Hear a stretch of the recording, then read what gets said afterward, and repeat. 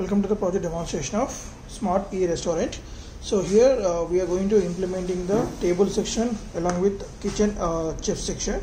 So chef section we are making use of Blynk app. We developed a Blynk app. On this Blynk app we are going to receive the table number along with uh, item numbers and quantity.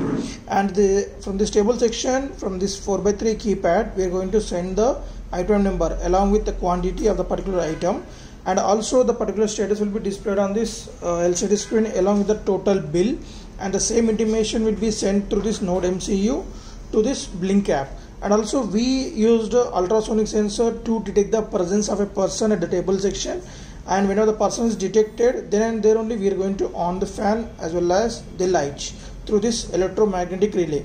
So here we interface the keypad to the 2 to 8 and a LCD at A0 to A5 and ultrasonic sensor at 11 and 10 and uh, these uh, two devices through the relay and relay is connected to the 13th pin of our Uno board.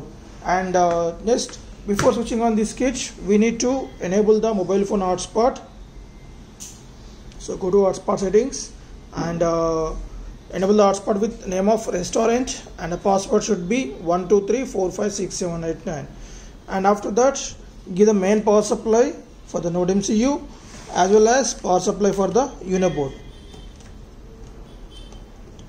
right. So once we provide the power supply for these devices then we will get the one device is connected at your phone. Mm, right okay so one device is connected. And now go to the Blynk app. Just log into the Blynk app. And also we need to enable the data also. So based on the network speed right we can get the the device is online and we can see the welcome to the project. Right so whenever the obstacle is detected so then the light and the fan will be on. Right we can see this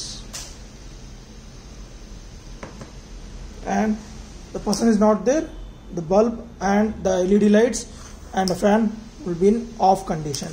You can see the same status on our LCD screen also. Okay? And now just uh, right.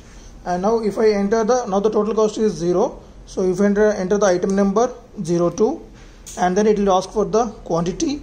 So I need the rates right and then and there only we are going to get the alert notification to your phone. Right. So that is table number and the item number quantity. Based on the network speed you will get the alerts in your phone. Okay? And uh, till you restart the system the total billing will be the same. So just 03 again.